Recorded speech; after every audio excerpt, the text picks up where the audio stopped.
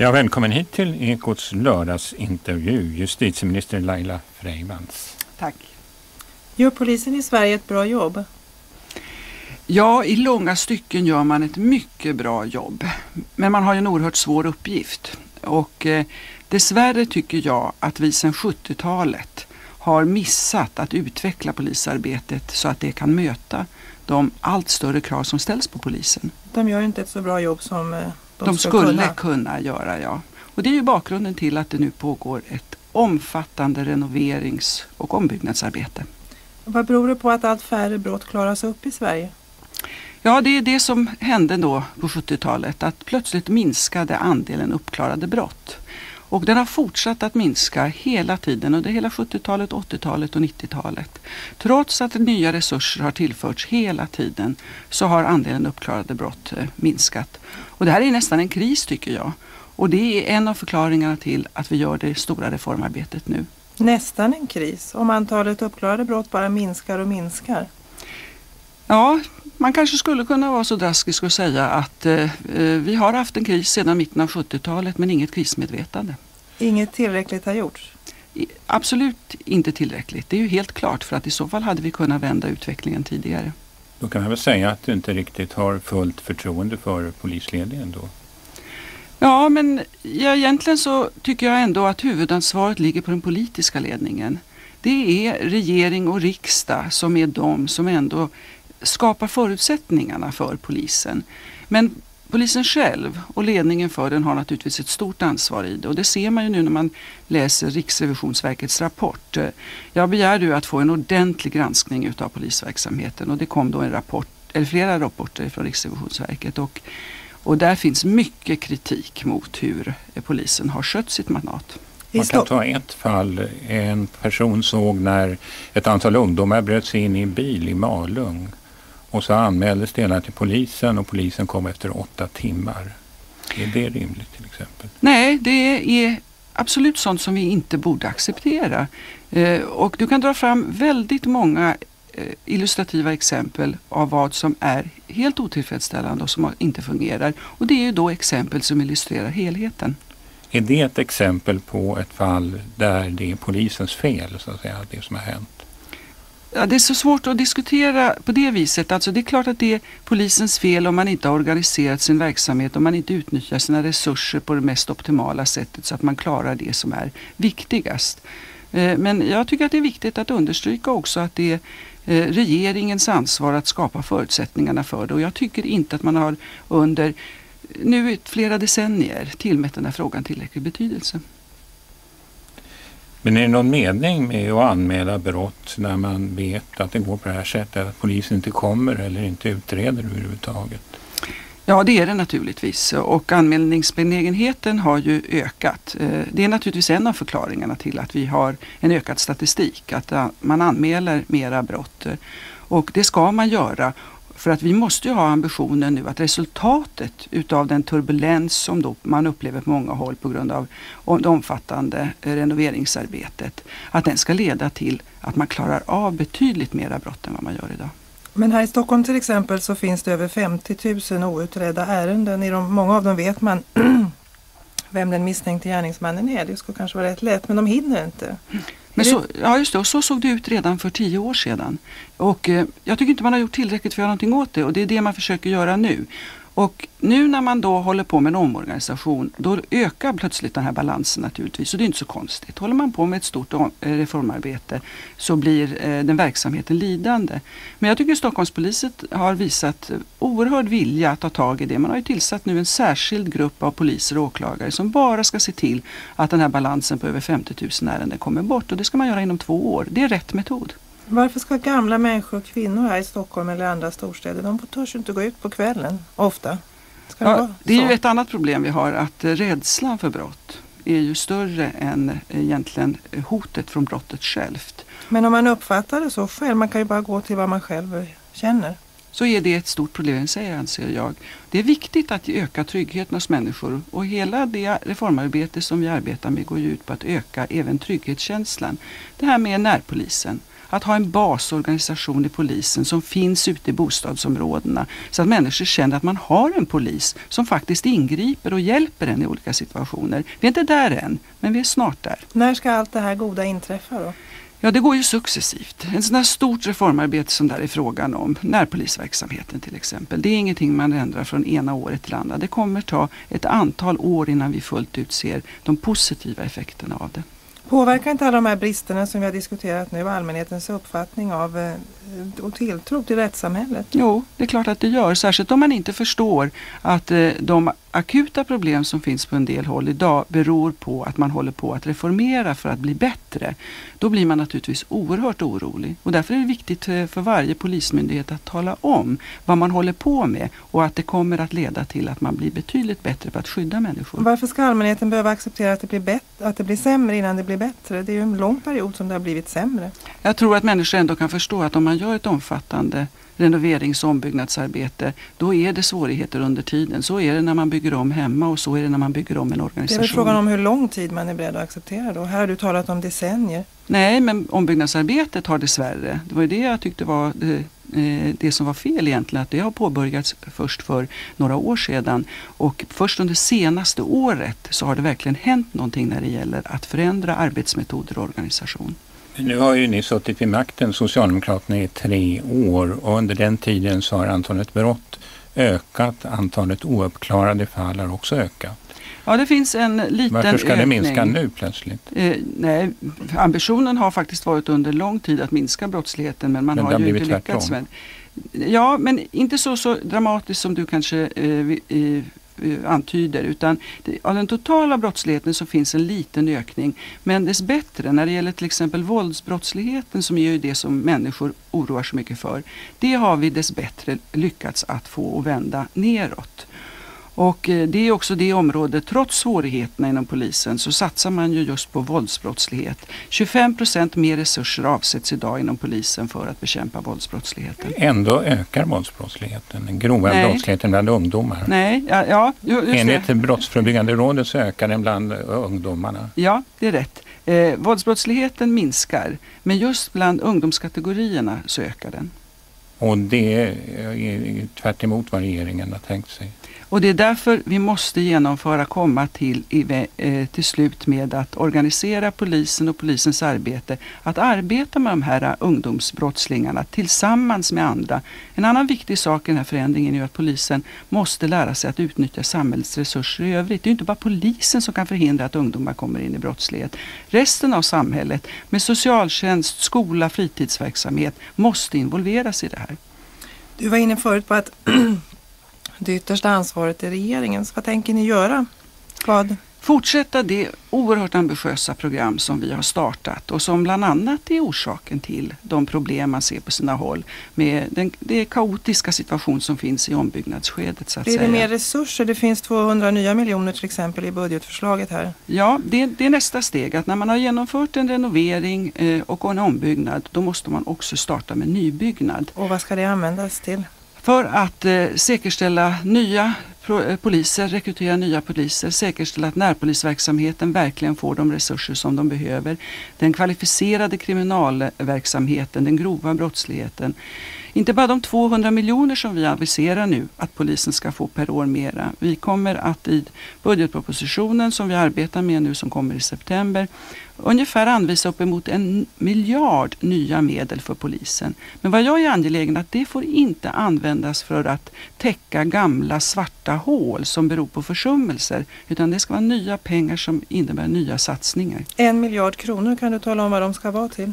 Ja, det är de områden jag pekade på. Det är att bekämpa vardagsbrottsligheten, det som innebär en otrygghet för människor. Det betyder närpolisverksamheten, men det betyder också den grova brottsligheten som ska hanteras av polisen på mer central nivå med större specialkompetens. Utnyttjande av den nya datatekniken. Det finns ingen verksamhet som har så stor nytta utav den nya tekniken. Man hanterar ju information och att hantera papperslappar är faktiskt omöjligt i den värld vi lever i idag. Så till- Datorn ger nya möjligheter så, Så- det är det vi ska använda pengarna Så till. till nästa budgetår lovar du en miljard nya kronor En- till polisen? under de kommande tre åren så kommer det innebära uppemot en miljard nya pengar för polisen. Och då ska det bli ordning ur det kaos som har rått hittills?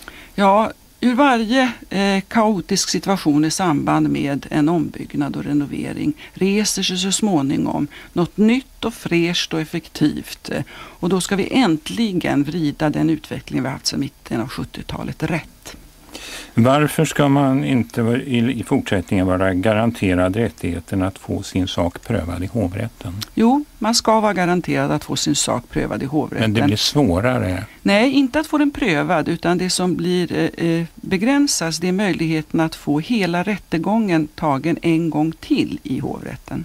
Då blir det väl svårare att få sin sak prövad Nej, i sin helhet? Ja, i sin, den blir prövad i sin helhet men inte på samma sätt som i tingsrätten. Tanken bakom det är ju helt enkelt att eh, vi är ganska ensamma om i världen att ha två domstolsinstanser som gör exakt samma sak. Men man är inte garanterad att få sin sak prövad ens om, i, i sin helhet, alltså om, ens om man är livstidsdömd? Jo, eh, man får saken prövad i sin helhet men inte genom att hela rättegången Nej. automatiskt tas om utan den prövning som sker är om det finns anledning att ta om hela rättegången. Alltså om det finns någon anledning att misstänka att eh, tingsrättens dom inte är riktig. Och det räcker med att man inte tycker att man riktigt kan bedöma om den är helt rätt för att man ska ta om hela rättegången. På vilket sätt ökar den här nya ordningen om den genomförs rättssäkerheten?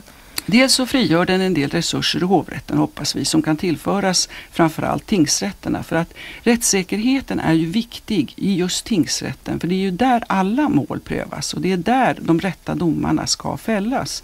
Alla ska ha tillgång till rättssäkerhet, inte bara de som överklagar. Och det här är ett viktigt sätt att renodla de två instanserna uppgift. Hovrättens uppgift är att kontrollera och rätta det som blev fel i tingsrätten. I det här ligger på något sätt underförstått att ett antal fall kommer till hovrätten i onödan. Har du någon uppfattning om hur många det skulle vara? Det är ingen som har vågat sig på att direkt säga hur många de är men att de finns. Det finns till och med eh, de som säger, även advokater och det är väl de som egentligen vet bäst. De säger att det ofta uppfattas av den tilltalade som en transportsträcka tingsrätten. Det är först i hovrätten man på allvar anstränger sig för det är där man vet att det kommer att avgöras. Vi kan inte acceptera det för tyngdpunkten i rättsordningen ligger faktiskt i tingsrätten. Idag så överklagas ungefär i genomsnitt en av sju domar. Hur många färre skulle det bli? Med den nya ordningen? Det har gjorts vissa uppskattningar och jag tycker att man ska akta sig för att dra några slutsatser. Dels, dels så tror jag att det kommer att ändras över tiden. Jag skulle tro att hovrätterna i början kommer att, eh, för att undvika att inte ha tagit upp ett mål som borde ha tagits upp, så kommer man vara väldigt generös. Och det betyder att man inte kommer se direkt någon stor skillnad. Men så småningom när det här systemet sätter sig, när resurserna har fördelats så att man har ett så effektivt och kvalificerat eh, prövning som möjligt. Då så kanske en större andel av det som idag går till hovrätten inte kommer dit. Men avsikten med alltihop måste ju vara att färre fall ska prövas på nytt i hovrätten. Ja, avsikten är att man inte ska behöva ta om alla eh, rättegångar två gånger i hovrätten om det inte anses behöva göras för att man ska säker på att det blir rätt. Du var inne tidigare på att det kan förekomma en del okynnesöverklaganden. Eh, men är det inte priset man får ta för att få rättssäkerhet i ett samhälle? Att alla ska känna att de verkligen får en total prövning en gång till? Ja, men det är inte eh, omprövningen i hovrätten, att man tar om hela rättegången som garanterar rättssäkerheten. Utan men folk kanske uppfattar det på det Ja, och då är det viktigt att man verkligen pratar om de här frågorna och försöker förklara vad det handlar om. Ett problem som eh, många ju pekar på, till exempel brottsofferjourerna i, i sin inställning är ju att detta ökar rättssäkerheten och de menar att det beror på att bevisning är en färskvara. Att ta om rättegången ett år senare med målsägande och vittnen som minns ännu mindre av det som skedde, som upplever obehaget att behöva uppträda igen, det leder kanske till att eh, bedömningen inte alls blir bättre och utgången inte alls blir rättssäkrare. Det finns en viss risk att göra fel ändå på det här sättet. Det är därför det hovrättens viktiga uppgift är att kontrollera och rätta det som blir fel. Och den uppgiften förstärker vi och därigenom så ökar vi också möjligheten att man totalt sett får en bättre rättssäkerhet. Hur kan man förstärka den möjligheten genom att minska prövningen? Nej, man, eh, ja, Alltså hur kan man förstärka hovrätternas möjlighet att upptäcka fel genom att eh, färre fall prövas där? Ja, för det första så använder vi de frigjorda resurserna i hovrätten att stärka tingsrätterna. Så att tingsrätterna har möjlighet att avsätta den tid och den kompetens som de behöver för att där säkerställa rättssäkerheten. Att det blir färre mål som blir felbedömda, det är ju det viktigaste för då nås alla av en rättssäker process. Och hovrätten får möjlighet att koncentrera sig på de svåravgjorda målen och inte slentrianmässigt sitta och göra om en rättegång från början där det inte blir någon ändring. Varför vill du förbjuda aktivt medlemskap som det kallas i kriminella organisationer? Jag tycker att vi måste pröva om vi kan skärpa våra möjligheter att bekämpa framväxten av organiserad brottslighet. Och då kan man förbjuda att vara med i någon organisation som bedöms vara kriminell? Inte själva medlemskapet, det passiva som sådant, men eh, om man ser på att vår lagstiftning gör det möjligt att ingripa mot en person som medverkar till brott, som hjälper till när ett brott begås, så är det här tanken att se, kan man gå ett steg längre? Att man även kan straffa den som aktivt, till exempel med pengar, stöder brottslig verksamhet utan att man kan knyta den personens agerande till ett visst brott. Jag tycker det är viktigt att pröva om det är möjligt att ha en lagstiftning av det slaget. Det Så finns man- ju i andra länder. Så man skulle kunna, eh, alltså även om man inte direkt medverkar i något brott så skulle man då kriminaliseras ändå, verkar inte det? Jo, men då har man genom sitt agerande gjort det möjligt att den kriminella verksamheten fortgår. Till exempel genom att stödja den med ekonomiska medel, med uthyrda lokaler eller på något annat aktivt sätt. Handlar det här alltså om mc-gäng men kan det också handla om nazistiska organisationer till exempel? Ja, vi har sett att det är väl de eh, typerna av det är ju politiska organisationer. organisationer, de uppfattar sig som det. Ja, det Som gör man de ju. förbjuder då. Men det är inte den politiska verksamheten utan det är den kriminella verksamheten vi angriper. Men det kan vara svårt att skilja mellan det ena och det andra. Ja, men det är viktigt att skilja på det. Hur gör ni det?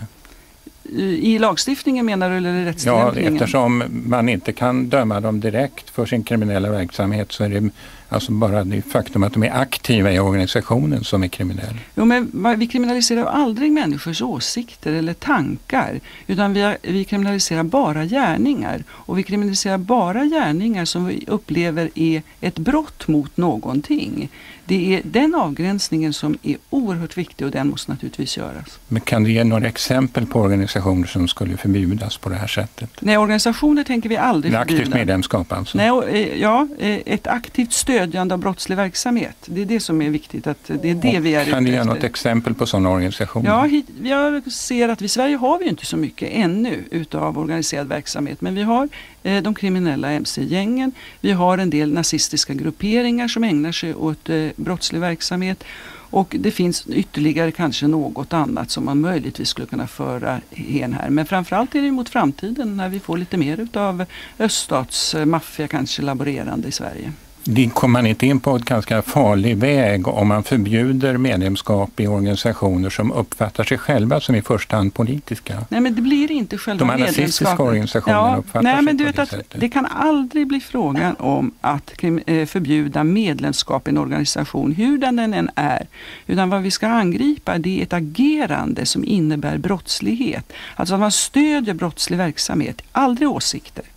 Men kan inte det här leda till att eh, man också förbjuder annan verksamhet i organisationer som inte är direkt kriminella, att det ena leder till det andra? Ja, det får det inte det blir en göra. sorts inkörsport. Nej, men det får det inte göra. Det ansvaret har ju vi eh, som ett demokratiskt land. Att se skillnaden på att angripa människors åsikter, hur förhatliga vi än tycker att de är, och att angripa deras brottsliga handlingar. Det finns exempel i historien på att när en auktoritär regim kommer till så passar den på att förbjuda organisationer som står arbetarrörelsen nära. Till exempel. Och där, det är därför är det inga enkla frågor det här. Utan, men å andra sidan kan man ju inte avstå från att försöka effektivisera kampen mot grov brottslighet av rädsla för att det finns svåra gränsdragningar som man är rädd för att göra. Vi får inte vara så fega. Oroar det dig att toleransen i samhället verkar minska? Det finns till exempel en ökad sympati för dödsstraff som bara ett exempel. Jag är ute mycket i skolorna och jag tar alltid upp frågan om dödsstraff för att den är så tydligt, det är ett bra exempel. Och eh, det är ju många som spontant på grund utav att de tycker att vi har för mycket av grov brottslighet och att man gör för lite åt det, säger sig vilja ha dödsstraff. Men pratar man lite närmare med framförallt ungdomar, för det är de jag pratar med, då tycker de ju inte egentligen det. För de förstår ju att det grundläggande är att om man ska hävda principen att man aldrig har rätt att beröva någon annan livet. Ska man hävda det i ett samhälle, då ska inte samhället heller ta på sig den rätten. Men får du intrycket att toleransen minskar generellt? Jag tolkar det ändå som att toleransen minskar mot brott och det är bra. Och det tar sig ibland uttryck i att man kräver dödsstraff. Och då är du inte orolig för att toleransen i övrigt i samhället tycks minska? Ja, men den, den, det som oroar mig är nog i så fall en, en kanske minskad tolerans när det gäller andra saker, till exempel det här med främlingsfientligheten. Jag tycker att man kan se att vi har eh, en början till en främlingsfientlighet som jag inte känner igen från tidigare i Sverige och det tycker jag är oroande. Och det har naturligtvis att göra med att eh, det är ett svårare klimat. Ekonomiskt har människor det svårare och då uppstår den typen av motsättningar och det tycker jag är allvarligt. Om man tar ditt eget jobb som exempel så verkar det är i huvudsak inriktat på att skärpa lagen i olika avseenden. Klämma åt olika grupper mera, inte att eh, liberalisera och minska lagliga möjligheter att komma åt brott. Nej, det, nej men det har du alldeles rätt i. Alltså, jag tror inte att man kan komma åt brott genom eh, en liberalare attityd. Utan jag tror att man måste bekämpa brott och man måste hela tiden se över samhällets instrument och möjligheter att reagera på brott. Brottsligheten utvecklar sig, den utnyttjar ny teknik, den går över gränserna och den blir grövre. Då måste också samhällets medel att bekämpa den bli bättre. Men finns det några exempel på regeringsförslag som har vidgat yttrandefriheten till exempel under senare år? Ja, vad det handlar väldigt ofta om det är att värna den yttrandefrihet vi har. Vi har ju en Inte att vidga den? Jo, också kan man säga. Tycker du att det är angeläget? Ja, det tycker jag. En grundprincip? Ja, absolut. Och det finns ju ett område där det här blir så väldigt tydligt. Det är ju den nya tekniken. Den nya tekniken innebär ju möjligheter att utvidga offentlighet, insyn, tillgänglighet till information. Jag tycker det är mycket angeläget att vi använder den nya tekniken för att få människor att kunna ta del utav eh, det som finns i samhället på ett mycket bättre sätt än hittills. Så vi kan öka offentligheten mycket med hjälp av den nya tekniken. Ett annat eh, förslag som har anknytning till yttrandefriheten eh, är ju den skärpning som nu föreslås av lagreglerna mot barnpornografi. Ja. Det här nya lagförslaget har fått kritik bland annat för att det i vissa fall fortfarande skulle bli möjligt att inneha barnpornografi. Tycker du att den kritiken är befogad? Jag har ju hela tiden eh, sagt att jag anser att vi måste komma åt allt innehav av barnpornografi. Så kritiken jag, är befogad? Ja, det finns ju flera förslag i utredning, det finns ju flera reservationer och det är ju flera eh, av dem som understryker att barnpornografi har ingenting med yttrandefrihet att göra. Och eh, jag sympatiserar med den ståndpunkten. Tycker, du anser inte att det har med yttrandefrihet att göra överhuvudtaget? Du håller med den grupp som kritiserar utredningen på den grunden? Ja, beroende på att barnpornografi i den mening vi talar om här förutsätter ett övergrepp på barn. Det är dokumentation av ett övergrepp på barn och jag kan inte se att spridningen utav dokumentation av övergrepp med barn har att göra med yttrandefriheten. Den här utredningen föreslår ju då, om man ska dra det kort, att det ska vara grundlagsskyddat att publicera bilder i tryckt skrift, i film som har en namngiven eh, utställare, utgivare och också till exempel journalister som hanterar materialet rent professionellt ska kunna få ha det. Ska, det, ska de undantagen bort? Nej, vi måste ha undantag för att man ska kunna hantera den här pornografin i samband med forskning, med kritisk granskning, med opinionsbildning. Eh, det måste vara möjligt att hantera ett kriminellt material på ett legalt sätt. Det är viktigt. Nu håller vi på att granska då utredningens förslag och de reservationer som finns. Det är olika lagtekniska lösningar. Och till hösten kommer vi med ett förslag som eh, jag hoppas alla kommer att kunna ena sig kring. Och i det förslaget så kommer man att se att eh, du har helt enkelt kört över själva utredningen och eh, anslutit dig till de som idag kritiserar det här förslaget. Ja, men du får ju komma ihåg att eh, utredningen är ju ense i allt väsentligt. Det de strider om är vissa lagtekniska frågor. Så att säga att man kör över vare sig den ena eller den andra när man sen väljer en av de lagtekniska eh, åtgärderna, det tycker jag är att ta i. Tack Laila Freifeldts för att du vill komma hit och svara på frågor. Vi återkommer om en vecka med en ny intervju. Tack.